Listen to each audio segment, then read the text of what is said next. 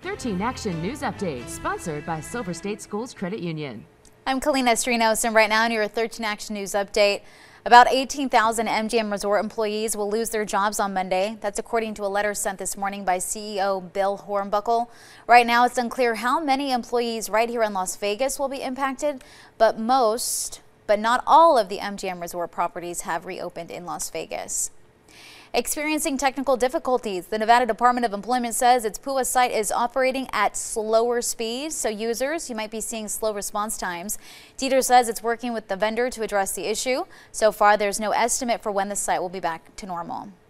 And the Golden Knights will be back on the ice tomorrow night. Their game against the Vancouver Canucks starts at 645.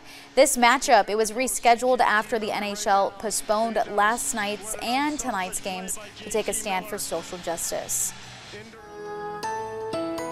We are battling the heat as we head into the weekend. 106 on your Friday afternoon here in Las Vegas could get as hot as 108 up on the north end of the valley. So the heat marches on. We are talking about temperatures for your Friday evening just slowly falling down through the 90s with overnight lows around 82 degrees here in the city. We do anticipate more comfortable nights next week. We'll wake up to the 70s starting Monday morning. A little breezy through the weekend, Kalina. It will actually turn a bit humid Saturday, Sunday, and Monday, so there might be a stray storm over the mountains by Sunday afternoon.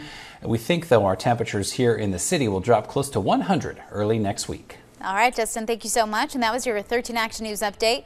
You can find more on our website, ktnv.com, and our free mobile app.